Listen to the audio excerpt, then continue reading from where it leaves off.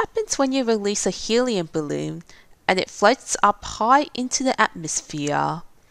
Does it expand, shrink, or stay the same? This can be answered using Boyle's law. Boyle's law is named after chemist and physicist Robert Boyle, who first published results of his experiments with gases in the 1600s.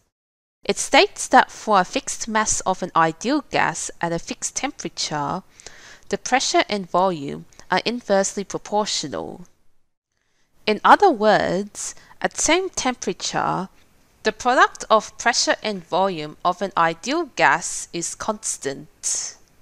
This can also be written as P1V1 equals P2V2 to describe what happens if the pressure or volume change. As the volume decreases, the air becomes compressed and the pressure increases, and vice versa, if the pressure decreases, the volume must increase. And it's a direct inverse relationship. So for example, if the volume is halved, then the pressure is doubled.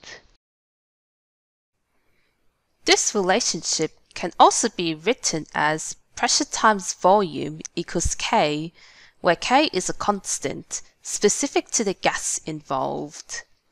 An interesting observation is if we graph 1 over pressure and volume, we have a linear relationship. This can be written as volume equals K times 1 over pressure, where the gradient is K.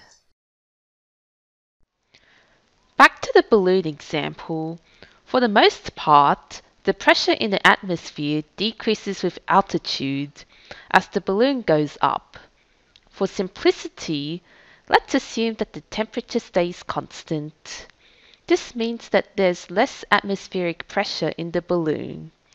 Boyle's law tells us that if the pressure decreases, the volume must increase. The balloon expands to increase its volume until it pops